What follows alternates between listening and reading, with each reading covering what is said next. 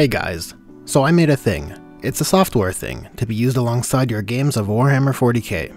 When playing my initial games of 9th edition, I felt the experience could benefit from a digitized method to track scores, due to the increase in complexity that came with secondary objectives. Not to say the changes to the mission structure are problematic, just that they require more bookkeeping. Anyhow, typically in my games of 40k there's usually a laptop nearby, and I thought it would be pretty nifty if it could double as a scoreboard. So I built the Untitled Battle Tracker. First you set up the players, starting with their faction ID, based on the Alliance, Faction, and Subfaction drop-down menus.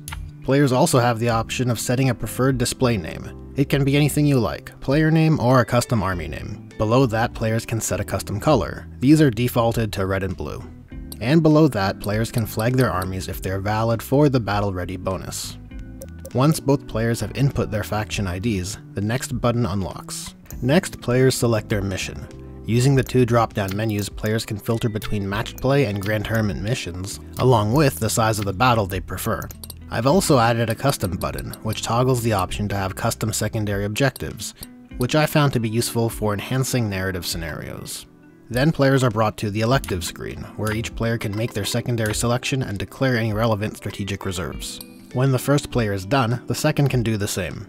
And when both players are complete, their secondary selections and declared reserves are revealed, and they can proceed. Which brings us to the last step of the setup. Here, each player's initial command points are set up, along with the results of the initial roll-offs bringing us to the battle track screen, which of course tracks and displays victory points and command points over the course of the game. The primary is locked until the start of the second battle round. There is also space for notes and a reference deploy map if needed. And the increasing and decreasing of values here can be adjusted with keyboard shortcuts. Once the game is complete, the UBT presents the final scores. Serving as a visual aid is this Tetris style block layout, which I find to be an interesting way of visualizing the score breakdown. Also, I would be remiss to not include some additional charts, which display victory points and earned command points over the course of the game.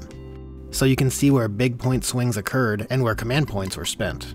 You can find the Untitled Battle Tracker on my webzone, link in the description. Currently it's only available as a PC build, but if there is enough interest, I can explore releasing it on other platforms.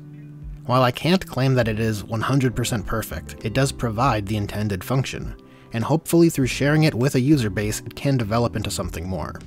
So if you find yourself in need for a score tracking game made for PC, you know where to find one. Thanks for watching, and I'll hope to see you guys in the next one.